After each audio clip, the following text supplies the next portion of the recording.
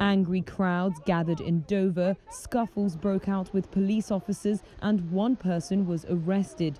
As thousands of frustrated truck drivers were left stranded by a ban on freight to and from France to stop the spread of a new highly infectious variant of the coronavirus.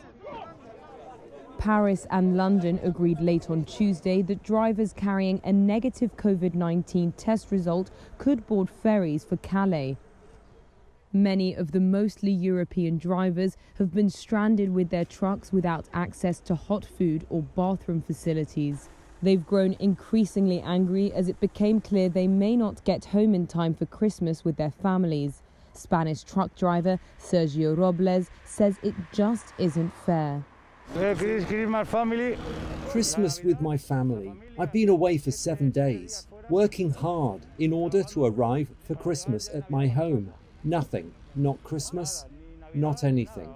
We're going to spend it here or on the journey, on the motorway. I think that it isn't right to do things like this to people who are working. We aren't on holiday, we are working. We want our rights like anyone else.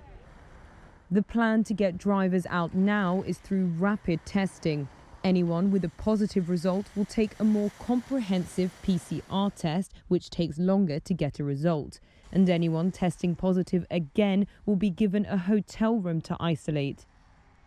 The Road Haulage Association, which estimated there were up to 10,000 trucks being held up in Kent, said the situation was chaos as the testing system was not yet ready.